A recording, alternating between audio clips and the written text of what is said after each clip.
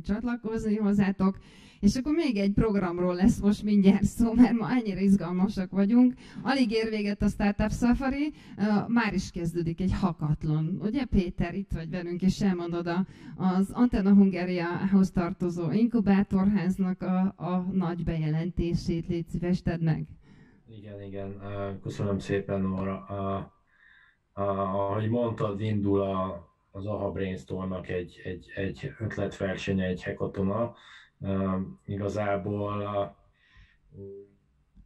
a, a célunk az valahol az, hogy eddig, eddig ugye jobbára a startupokra lőttünk, és most visszalépünk egyet ebbe, az, a, ebbe a gondolatiságba, és próbáljuk megszólítani azokat a az elsősorban egyetemista hallgatókat, de nyilván ez azért nem annyira zárt a célközönség, hogy, hogy akkor az ő ötleteikkel álljanak elő, és mi próbáljunk ezekből aztán egy kis kovácsolással majd idővel olyan projekteket összehozni, amik akár az üzlet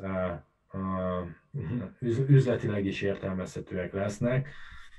Alapvetően öt témára lövünk, az egyik az az Industry 4.0, tehát hogy az ipar 4.0, itt jobbára 5G és, és IoT projekteket, gondolatokat keresünk. Nyilván ehhez az Antenna Hungáriának, mint távközlési cégnek van némi szakértelme. Itt ezt próbáljuk majd nyilván becsatornázni a, a résztvevők felé. Ami még az AH számára egy releváns témakör, vagy különösen releváns témakör, inkább így fogalmazok, az a Next Generation Entertainment. Itt ugye az a kihívás, amivel azt gondolom, hogy nem csak a, az Antenna Hungária, hanem az összes többi távközlési, illetve hát műsor gyártása, terjesztése foglalkozó cég mostanság szembesül, hogy, hogy mit kezdjen azokkal a globális platformokkal, mint a Netflix, a Spotify vagy a, vagy a Twitch, amik, amik amik egy újfajta modell mentén, de, de úgy látszik, hogy, hogy elég nagy szeletet hasítottak ki ebből a piacból, hol lehet itt, itt, itt uh, versenyezni velük, mi, mik azok a funkciók, az a tartalom, vagy az a, az a közösség, ami, amit meg lehet és meg uh, érdemes megszólítani. Nyilván, ami még számunkra érdekes, és azt gondolom, hogy egyébként mostanság mindenki, aki, aki élethelyzete miatt már családos, akkor szembesült ezzel, az a, az, az, e, az oktatás és ez az online oktatásra való átállás. Itt azt gondolom a Covid helyzet, ez, ez egy elég uh, instant uh, probléma megoldási helyzetbe állította az oktatást is, nem csak itthon, hanem nyilván a világon mindenhol. És azt gondolom, hogy itt számos olyan kihívás mutatkozott, ami a, a, az oktatásban felmerült, nem tudom, hogy a hallgatók, a diákok nem igazán találkoztak egymással, nincs meg ez a közösségi élmény, ami ugyanúgy azt gondolom, hogy az oktatási intézményeknek egy fontos eleme, és, és ezekre keresünk ötleteket, megoldásokat.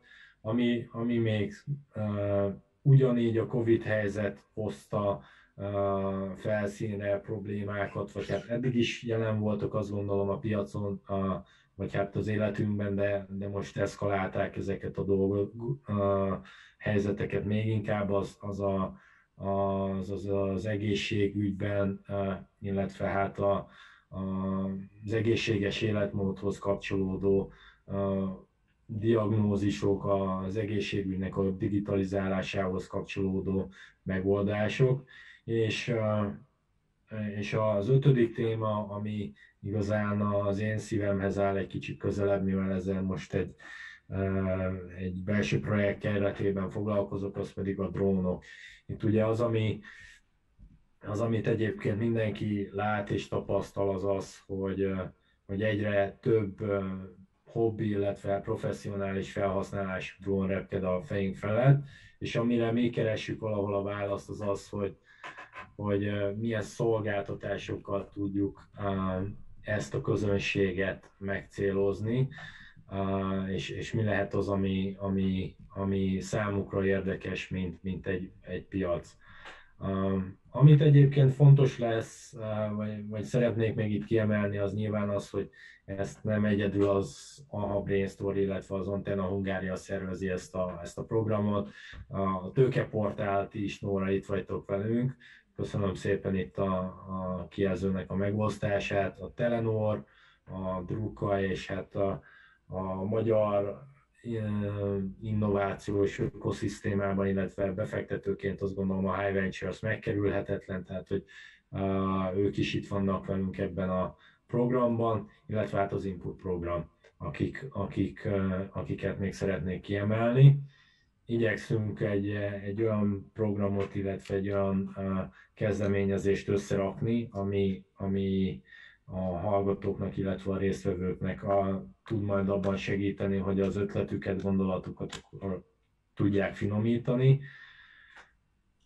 És bízom benne, hogy, hogy, hogy tényleg találunk majd a nap végén olyan gondolatokat, amik, amik nem csak üzletileg, hanem, hanem akár impact oldalon is tudnak segíteni. Így hogyha van, már ez, ez, ez, ez, ez, ez felmerült szombatig kell jelentkezni, tehát nem véletlenül passzíroztuk bele a mai napba az a Brainstorm felhívását, tehát szombatig, és most kiküldtük már minden egyetemnek, akivel együtt dolgozunk, de nagyon örülünk, hogy ti is tovább viszitek a hírt, úgyhogy nézzétek meg ezt a honlapot, a Brainstorm per ötletverseny, és bátorkodjatok jelentkezni, csak nyerni lehet egy ötletversenyen való részvétellel, abszolút, tehát az ember rend